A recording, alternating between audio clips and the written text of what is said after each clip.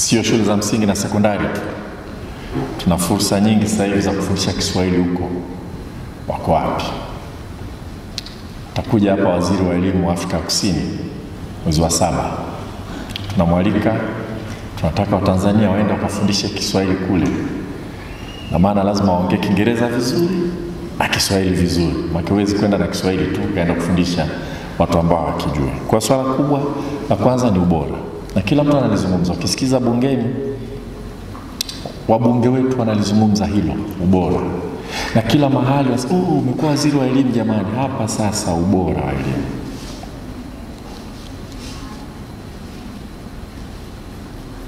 La pili,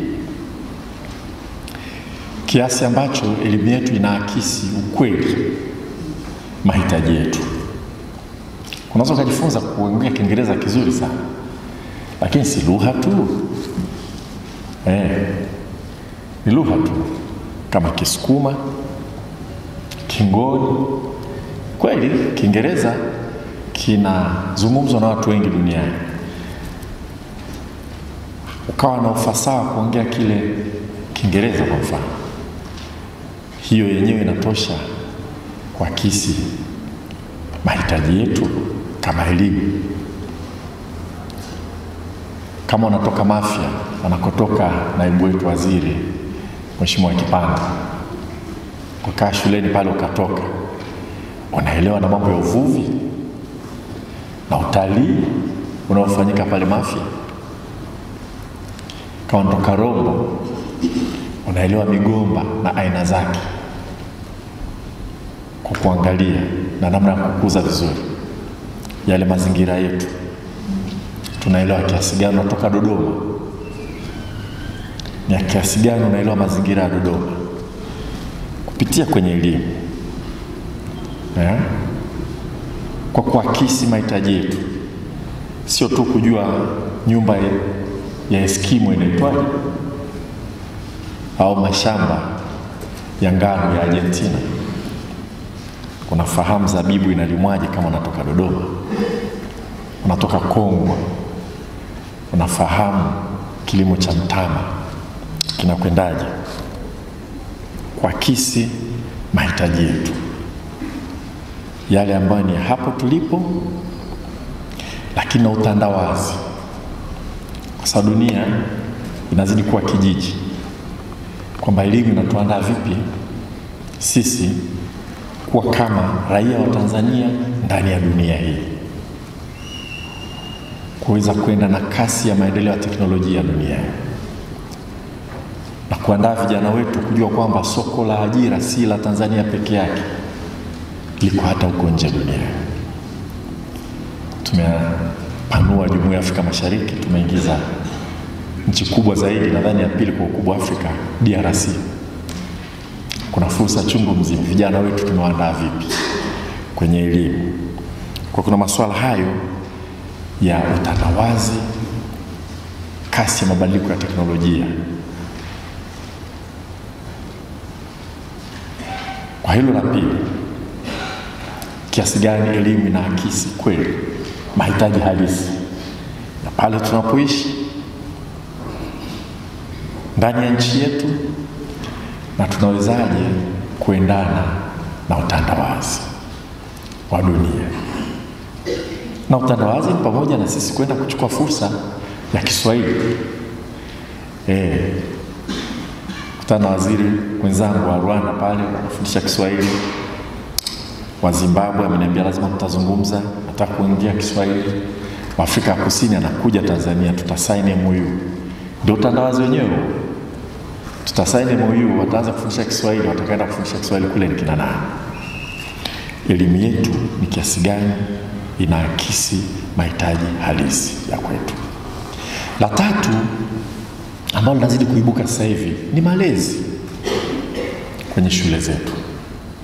Watoto wanaanza shule wakiwa wadogo, wanaanza wakiwa na miaka sita, miaka saba, na tunapokuwa na preschool wanaanza mapema zaidi, na baadhi ya maeneo wazazi wote wako kwenye kinyang'anyiro cha maisha, baba mbio, mama mbio, watoto wanakabidhiwa waalimu. Kwa kuna hili hatujalisema sana, lakini kuna kazi ya kulea, kumlea mtoto kwa maadili yetu, maadili ya Kitanzania na maadili yanayoendana na mila na tamaduni zetu. Sasa tunasikia na tunaona kwenye mitandao mambo chungu mzima yanatokea, mambo ya ovyo, na mtaka kuamini kwamba ni machache, lakini panapofuka moshi hapakosi, na sisi tusingependa kupuuza. Na mimi nishaongea na waziri mwenzangu Mheshimiwa Dr. Dorothy Gwajima. Tumeomba levo ya makatibu wakuu wakae, alafu tunapitia miongozo yote tulionayo ya mambo ya malezi, kutunza kutunza watoto wetu, ili tuweze kuja na tamko na mikakati baada ya kupitia yote ambayo tunayo, kwa sababu yametawanyika katika wizara mbalimbali, na tutashirikiana na TAMISEMI. Kwa hiyo yako mambo matatu kwenye elimu yanazungumzwa sana. La kwanza ubora, kama nilivyosema la pili, kiasi ambacho elimu yetu inaakisi mahitaji yetu. Ndio utasikia mtoto wa siku hizi wanasoma hawaajiriki na hawawezi kujiajiri. Swala la kuajirika na kujiajiri lina upande mmoja wa elimu, lakini la upande mwingine wa uchumi unavyokuwa na kuzalisha ajira. Kwa upande wa elimu hatuwezi kupuuza yale ambayo tunapaswa kufanya. Na la tatu, malezi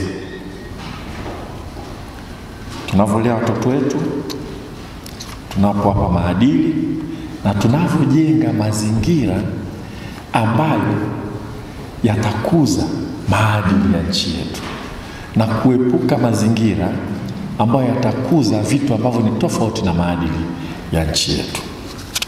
Haya yote ni muhimu sana, na kwa ujumla, nyie ndugu zangu, viongozi wa udhibiti ubora na wadhibiti ubora wote hapa nchini, hili mna nafasi kubwa sana ya kutusaidia kuliendeleza, kuendeleza ubora, kusimamia elimu hata ilivyo inavyotolewa sasa hivi iweze kuakisi zaidi mahitaji yetu hata kwa mitaala tulionayo, na kuhakikisha kwamba malezi ya vijana wetu yanakwenda vizuri. Na ila malezi tutazidi kulizungumza zaidi, kwa sababu napo utandawazi unatuletea fursa ya watu kuangalia mambo mengi mengine, sio ya kutizama na hasa sio ya kutizama kwa vijana wetu, na kuanza kukuza tabia ambazo sizo, lakini kujenga raia vile vile waaminifu wanaotii sheria, kwa sababu bila kuwa na waaminifu sheria sio kutii sheria kwa woga, kutii sheria kwa sababu unajua ni muhimu ili tuendelee mbele. Kwa nyie wote ndugu zangu, mna jukumu kubwa sana. Ndio maana nimefurahi sana. Na nilifurahi sana mwalimu ulivyoniambia utanipa fursa kuja kuonana na nyie, kuzungumza na nyie. Nashukuru sana kuwaeleza umuhimu wenu kwamba ni mkubwa, kwamba nyie ni mbono ya jicho la elimu hapa nchini. Tunapaswa kuitunza, mnapaswa kuitunza, mnapaswa kuangalia, mnapaswa kushauri na mnapaswa kuwa wanaharakati wa kupambana pale mambo hayakwenda vizuri, kutokuchoka kufuatilia kiwa na harakati, kiwa na harakati mpaka turekebishe. Sio kwamba mradi nishafanya kazi yangu, ishajaza ripoti, mimi yameisha.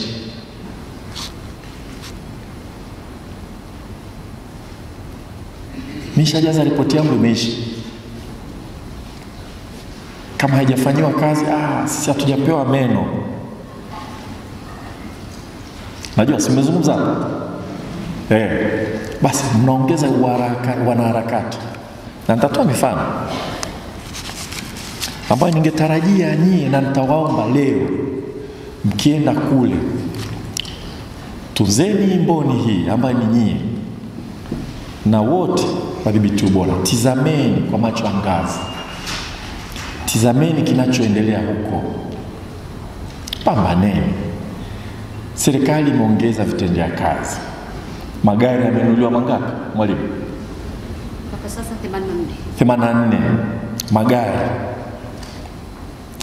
mambo chungu mzima yanafanyika, lakini nasema, na niliwahi kusema siku moja, hata wakati bado kuna changamoto. Kumbuka Nyerere alipopigania uhuru wa nchi hii, alizunguka nchi hii miaka saba, hakuna lami, Land Rover halina kiyoyozi, barabara mbovu,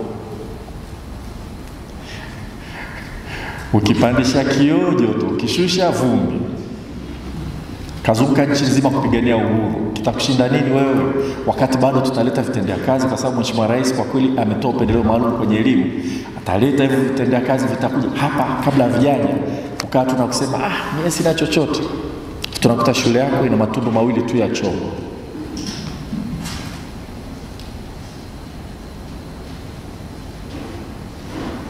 Tunakuta shule yako ya bweni wanafunzi kuna wanafunzi wawili wawili wanalala kwenye kitanda kimoja, na kisingizio chako useme sina vitendea kazi. Mtakuwa mmetusaidia ndugu zangu? Mtakuwa mmetusaidia? Mtakuwa mmetusaidia? Tujitolee na sisi huku, rais wetu, bajeti inaongezwa elimu, vitenda kazi vitakuja, lakini wakati vinaendelea kuongezeka tujitume na tuwe na harakati. Na ukakuta tatizo kama hilo, wasa, nimeshatoa ripoti, yameisha, yanaisha, yataisha. Ukikuta shule wanafunzi wanashia vitanda, wanalala, wewe unaenda kulala usingizi, unalala usingizi, umepeleka ripoti, yameisha. Ni mboni kweli hiyo? Utakuwa mboni ya elimu? Hapana, si ndio jamani? si ndio? Ndivyo, lazima tujiongeze. Nitakuwa na harakati na nitawaambia cha kufanya.